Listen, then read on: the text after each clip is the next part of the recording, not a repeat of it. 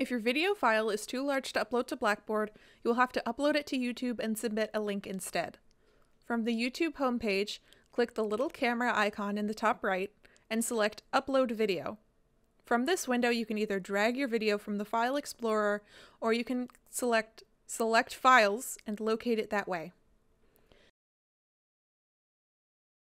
Give your video a title and check No, it's not made for kids, then press Next. You can skip the next two windows. On the final window, set visibility to either public or unlisted.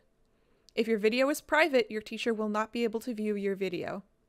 Setting your video to unlisted means that only people with a link can see your video. This is recommended for assignments. On the right here is the link you will submit to Blackboard. Press Save. Your video might still be uploading or processing, but you can go ahead and submit this link to Blackboard.